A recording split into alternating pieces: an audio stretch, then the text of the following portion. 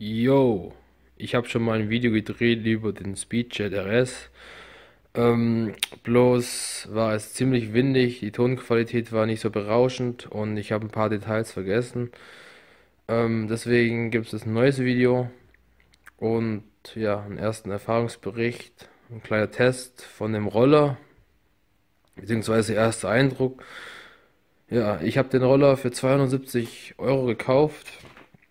Ähm, das ist die Limited Edition.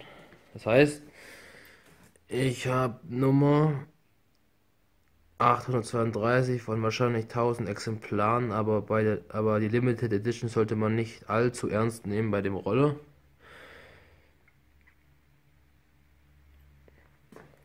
Ja. Wir haben hier natürlich auch ein paar Gebrauchsspuren. Hier wurde der Roller geklebt. Hat es einen Kollegen, also den Vorbesitzer, richtig, richtig aufs Maul geschlagen. Hat da die Verkleidung ähm, halbiert oder gespaltet. Egal, jetzt wird es jedenfalls ordentlich geklebt, es hebt. Sieht zwar nicht schön aus. Ich glaube, ein neues Verkleidungsteil kostet so 50 bis 60 Euro bei eBay. Habe mal nachgeschaut, also gleiche, nur die Verkleidung hier links. Ähm, ja, natürlich haben wir Gebrauchsspuren auch auf der anderen Seite.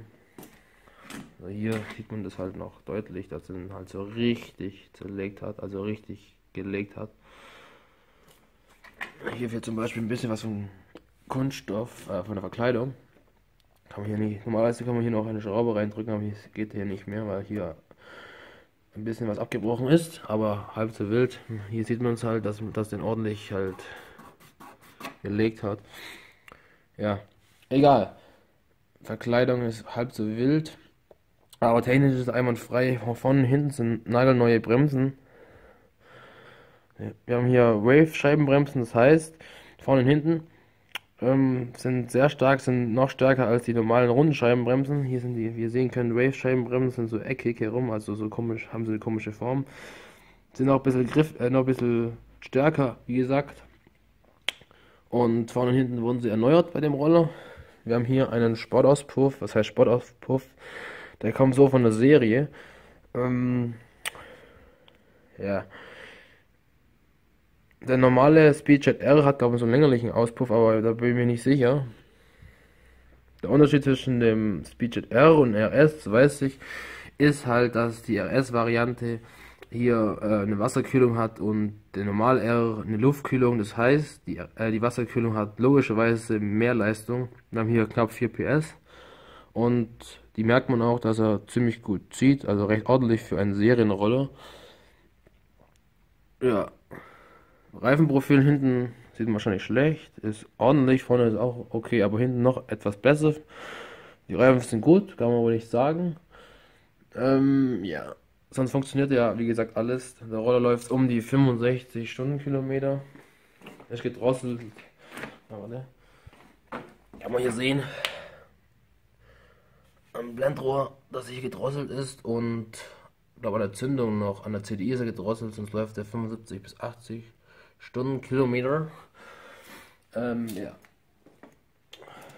Hier haben wir halt die, ja, den Tacho, der geht bis 80 und links haben wir hier die Anzeige für die Wasserkühlung, bei der Luftkühlung fällt es halt komplett weg. Und rechts haben wir hier die Tankanzeige. Der Roller schluckt sehr viel Benzin, ist mir schon aufgefallen. Ähm, ja. Wie viel genau es sind, das weiß ich nicht genau, aber so lange habe ich den Roller auch nicht. Aber mir ist aufgefallen, dass er schon Durst hat. Ja, dann haben wir Blinker links, Blinker rechts, Fernlicht und Ölanzeige, wenn mal zu wenig Öl da drin sich befindet. Hier haben wir das Normallicht ab, das Normallicht und dann das Fernlicht. Blinker links, rechts und Hupe und Elektrostarter, wie gesagt. Ja. Der RS hatte auch so Sportspiegel, wie ihr sehen könnt. Beim normalen sind die halt eher so, keine Ahnung, so halt ovalförmig oder so, keine Ahnung. Jedenfalls sind die beim RS etwas sportlicher gestaltet. Ähneln die vom Spiel des ähm, Speed, Speedfight 3 oder so, keine Ahnung. Ja. Das Licht von dem Roller, da bin ich begeistert, weil ich bin schon viele Roller gefahren. Egal ob es Piaggio, Zip, Jetforce oder was weiß ich für Roller es waren. Ähm, fand ich das Licht, äh, finde ich das Licht von dem Roller am besten, würde ich sagen, weil er hat eine kompletten, komplette Sicht nachts. Ich bin schon nachts gefahren und es ist schön hell. Und ja, ich bin begeistert von dem Licht. Das Licht ist echt super bei dem Ding. Ähm, jo. Was gibt's noch zu erzählen? Ja, für 72 Euro echt ein Top-Roller, weil technisch ist er einwandfrei. Bremsen top und vom Motor her hat er auch recht wenig Kilometer. Was haben wir hier? 8741 Kilometer. Ja. Und da gehen schon ein paar Kilometer noch drauf.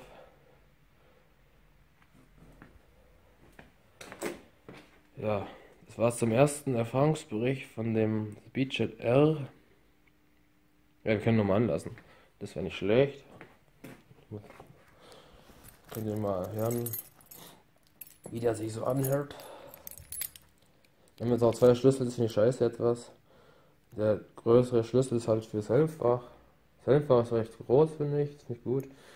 Und das können wir uns anschauen. Zack. Ja, das haben wir hier, das ist halt das. Kriegen wir schon einiges rein. Da kann man halt Benzin reinfüllen, logischerweise. Was fasst da rein? Ich denke mal, passen locker so 6 Liter rein. Hab's letztes Mal nicht voll gekriegt.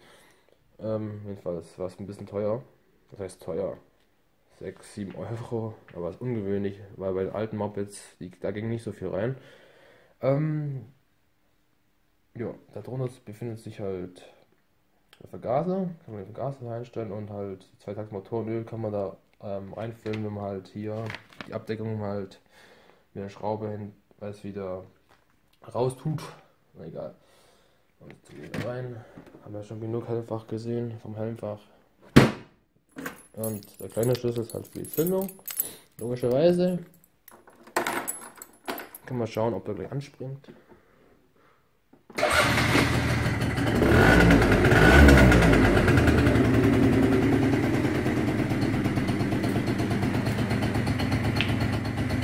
Ja, so sieht das Licht hier aus.